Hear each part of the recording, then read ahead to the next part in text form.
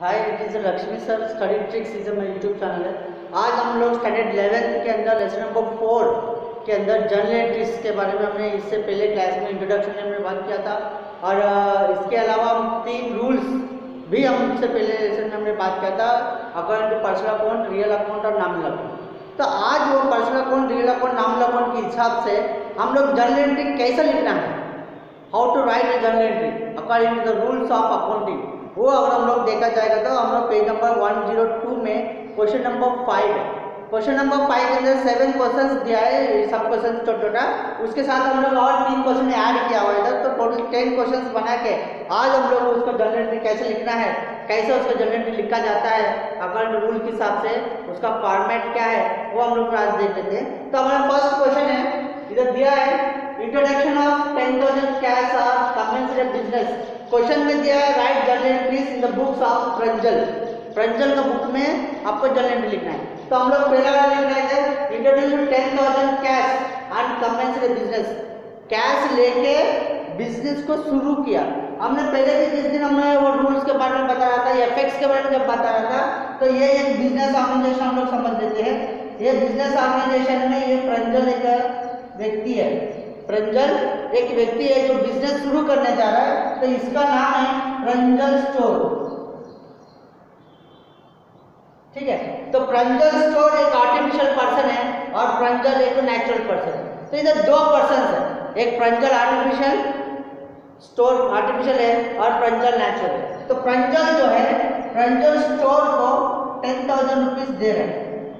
Pranjal Pranjal store को दे रहा है। तो प्रंजल इज़ कौन है Pranjal Pranjal is a owner Pranjal कौन है? ओनर तो owner gives the cash to his firm Pranjal store तो कैश इसको दे रहा था, इसके अंदर क्या आया? कैश आया. तो कैश कम्स इन ये आपका फ़र्स्ट इफ़ेक्ट है कैश कम्स इन तो who is the giver giver कौन है? प्रंजल कब गिव अगर रूल्स अगर देखा जाएगा तो डेबिट व्हाट कम्स इन जो भी बिज़नेस में आता है, उसको डेबिट करना चाहिए. And credit the giver giver को क्रेडिट करना चाहिए। तो गिवर है प्रंजल है, लेकिन प्रंजल कौन है? ओनर है। जब भी ओनर अगर बिज़नेस में कुछ लेके आता है तो उसके लिए हम लोग कैपिटल वर्ड यूज़ करते हैं। तो इधर हमारे लिए कैश कम है तो फ़र्स्ट एंट्री है, आपका वन इधर सीरियल नंबर या डेट आप लोग लिख सकते हैं। इधर पर्टिकुलर आएगा। और इधर लेजर फोल्डर नंबर और ये डेबिट रुपीस और ये क्रेडिट रुपीस ठीक है तो फ़र्स्ट वन मेरा है। क्या रूल है? व्हाट कम्स इन कुछ आ रहा है बिज़नेस में। तो क्या आ रहा है? पैसा आ रहा है। तो what comes in what comes in अपन को कौन सा रूल के अंदर आता है वो अपन को देखना है। तीन रूल्स है। Personal account real account nominal account तो व्हाट कम्स इन कहाँ पे अपन को रियल अकाउंट में। तो रियल अकाउंट के हिसाब से डेबिट वॉट कम्स इन क्या बोला? Debit what comes in credit what goes out तो मुझे इधर आ रही है कम्स इन हो रही है इसे मुझे डेबिट का देखना है, क्या आ रही है मेरे को? कैश आ रही है। तो कैश आ रही है, इसलिए कैश अकाउंट को हमें डेबिट करना कैश अकाउंट डेबिट ठीक है? तो कैश आ रही है तो कहाँ से आ रही है? क्यों आ रही है?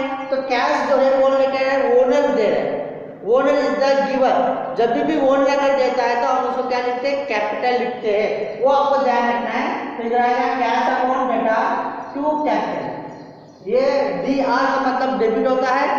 टी ओ टू का मतलब क्या होता है? क्रेडिट होता है। तो cash account debit to capital account और इसका लोग क्या करते हैं? लेजर फोल्डर में इधर डैश लिखते हैं बाद में अमाउंट लिखते हैं। कितना अमाउंट लेके आए उसमें टेन थाउज़ेंड तो हम लोग इधर लिखेंगे डेबिट साइड पे भी टेन थाउज़ेंड और क्रेडिट साइड पे भी टेन थाउज़ेंड और एक हमने बात किया था, ये तो डेट कॉलम है अकाउंट लिखेंगे एल एफ़ लिखेंगे डेबिट अमाउंट क्रेडिट अमाउंट लिखेंगे।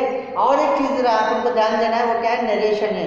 तो नरेशन अगर देखा जाएगा तो व्हाट हैपेंड है owner brings cash, and start a business ये आपको ध्यान देना है। और इसके बाद एक लाइन करना है, ये रूल्स के हिसाब से लाइन होता है। तो कैश अकाउंट लिखा टू कैपिटल अकाउंट और इसके बाद आएगा owner brings cash and start business तो सेकेंड वन क्या है? Goods five thousand purchase on cash goods हमने क्या किया? परचेज किया। परचेज मतलब क्या होता है? खरीदना होता है। कोई भी दुकान में जाके अगर आप सामान खरीदते हैं तो सामान नहीं तो क्या होगा? मेरे घर पे क्या आएगा? सामान आएगा। और क्या जाएगा मेरे से? कैश क्योंकि हाँ कैश दिया कैश दे के हम सामान ले रहे तो मेरे पास क्या आया? सामान आया। तो व्हाट कम्स इन डेबिट करना है। और कैश जा रही है। तो व्हाट गोस आउट जो जा रहे हैं उसको हम गोस आउट बोलते हैं। तो what goes out that is credit तो इधर हमको आएगा goods that is purchase account हम गुड्स के लिए परचेज सेल्स वर्ड यूज़ करते हैं। तो परचेज अकाउंट डेटा कैश जा रही है। तो कैश अकाउंट इधर लिखेंगे be goods purchase on cash मतलब हमने क्या किया? कैश पे सामान खरीदा और डेबिट क्रेडिट का लाइन रहेगा ये ये लेफ़्ट का लाइन रहेगा और इसके बाद जो है, इसके बाद जो है डेबिट का अमाउंट कितना है? पाँच हज़ार। तो इधर डेबिट पाँच हज़ार और क्रेडिट में भी पाँच हज़ार को लिखना है। ओके तो थर्ड वन देखेंगे तो गुड्स एट थाउज़ेंड परचेज और क्रेडिट फ्रॉम रंजना रंजन। इधर भी हम क्या कर रहे हैं? परचेज कर रहे हैं। परचेज मतलब सामान मेरे पास आ रहा है। जो आता है, उसको आपको डेबिट कर करना है। According to real account debit what comes credit what goes इधर क्या है? मेरे सामान आ रहा है। तो सामान आ रहा है तो what comes in real account के हिसाब से डेबिट व्हाट कम्स तो डेबिट मतलब क्या है? गुड्स आ रहा है। गुड्स में हम लोग आर देकर परचेज लिखते अगर जाता है तो सेल्स लिखते तो परचेज अकाउंट बेटा टू देखना है, क्या कैश वर्ड नहीं दिया। Goods purchase on credit on credit उधारी पे लिया और फ्रॉम रंजन से। रंजन इज़ द गिवर हम खरीद रहे हैं तो मेरे को बेचने वाला कौन है? रंजन है। और रंजन को मैं कुछ दिया, कुछ भी नहीं दिया। तब क्या होता है? रंजन इज़ द गिवर होता है। तो पर्सनल अकाउंट के हिसाब से ये देखना है। Debit the receiver credit the giver personal account क्या बोलती है? Debit the receiver credit the giver तो ये गिवर है। रंजन क्या मेरे को दे रहा है? इसलिए उसको मुझे क्रेडिट करना है। टू रंजन। कितना अमाउंट है? आठ हज़ार। तो इधर हम लिखेंगे billing goods purchase on credit from Ranjan. ठीक है? चौथा हम देखेंगे goods 2000 given for donation donation मतलब क्या होता है? चंदा वाला। चंदा जो है, मेरे लिए एक तरह का बिज़नेस एक्सपेंस होता है। डोनेशन क्या होता है मेरे लिए? बिज़नेस एक्सपेंस तो आपको एक्सपेंस जब भी ऐसा आता है तो एक्सपेंस का रूल देखना पड़ेगा। एक्सपेंस का रूल क्या है? To nominal account nominal account के हिसाब से all expenses and losses will be debited debit all expenses and losses according to nominal account credit all income and gains तो इधर क्या होता है? डोनेशन इज़ एक्सपेंस होता है। डोनेशन क्या होता है? एक्सपेंस जहाँ पे भी एक्सपेंस होता है वहाँ पे नॉमिनल अकाउंट का रूल अप्लाई करना है। तो डोनेशन इज़ एक्सपेंस और हम क्या दे रहे हैं? गुड्स दे रहे हैं। सामान दे रहे हैं। इधर एक चीज़ है अगर बेचने के अलावा मतलब बे, अगर सामान बेचेंगे तो सेल्स वर्ड यूज़ करते हैं। सामान अगर हम लोग नहीं बेच रहे हैं तो उसकी जगह पे जो सामान बाहर चले जाता है उसके लिए भी हम लोग परचेज वर्ड ही इधर यूज़ करते हैं। तो ये क्या donation business expense donation account data to to क्या आएगा? Goods goes out goes out है तो जो आता है उसको हम डेबिट करते हैं, जो जाता है उसको हम क्रेडिट करते हैं। तो अदर देन सेल्स सेल्स के अलावा कोई दूसरा तरीके से अगर सामान जाता है तो उसके लिए हम लोग परचेज वर्ड यूज़ करते हैं। कितना है? दो बी goods given as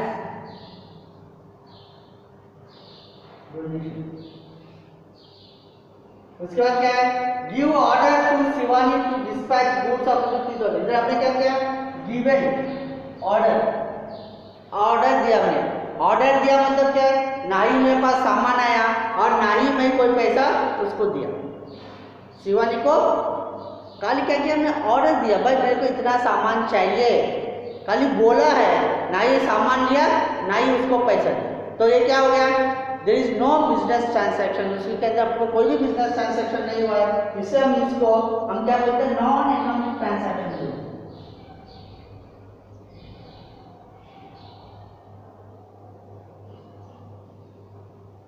क्या बोलते हैं? नॉन इकोनॉमिक ट्रांसैक्शन ये मेरे लिए non economic transaction six one देखते हैं। Shivani dispatch the goods as per order अब इधर क्या किया? शिवानी ने सामान दिया। उससे पहले वाला में हमने काले ऑर्डर दिया था, जहाँ पे मेरे को ना कुछ मिला था, ना ही मैंने उसको कुछ दिया था। लेकिन इधर क्या कर रही है? जो ऑर्डर मैंने दिया था, उसके हिसाब से शिवानी ने मेरे को सामान दिया। सामान दिया मतलब क्या है? मेरे बिज़नेस में सामान आ रही है। तो कम सिन हो रहा है गुड्स कम सिन हो रहा है। तो किस कौन दे रहा? है Shivani is the giver goods come into the business and Shivani is the giver तो according to real account debit what comes in and according to personal account to credit the giver तो इधर सामान पास है इसलिए हम लिखेंगे purchase purchase account data and Shivani is the giver तो शिवानी आ तो अगर ये देखेंगे तो अमाउंट कितना है इसका? इधर सिक्स में अमाउंट नहीं है मेरे पास. लेकिन अमाउंट किधर दिया है? फिफ्टी में दिया है। ऑर्डर हमने दिया था तीन हज़ार का। जब तीन हज़ार का ऑर्डर दिया तो सामान भी क्या होगा? तीन हज़ार के रहेगा तो इधर मेरे को तीन हज़ार रुपया ही इधर लिखना है। ठीक है? तो इधर लिखेंगे been Shivani center goods as per order मतलब ऑर्डर के हिसाब से उसने सामान मेरे को भेजा।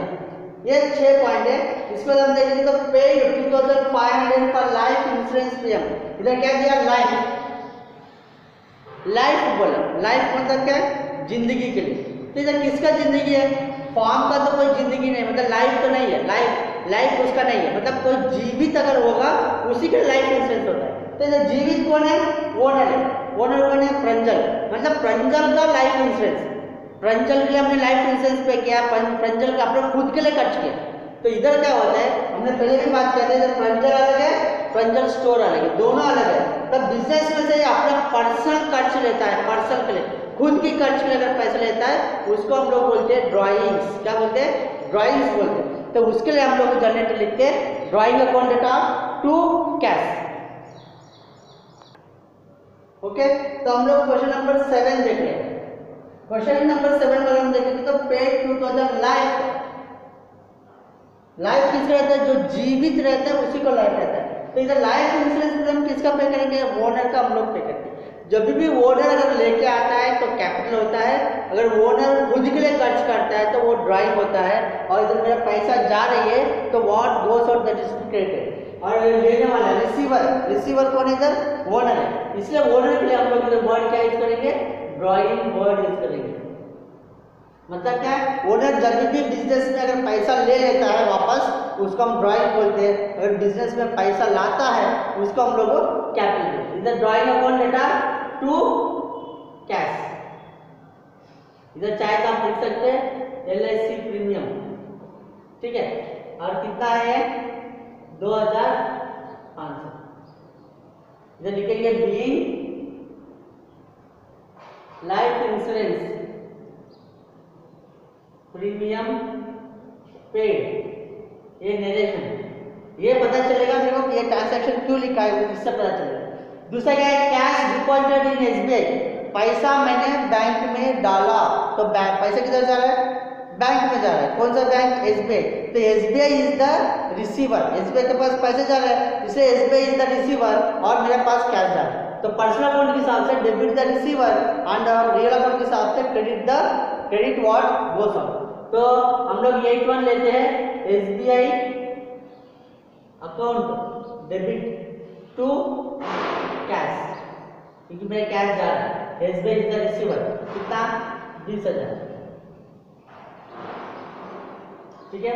इधर हम लोग लिखेंगे be cash deposited in S I nine twelve goods sold and cash goods हमने क्या किया? कैश में बेचा।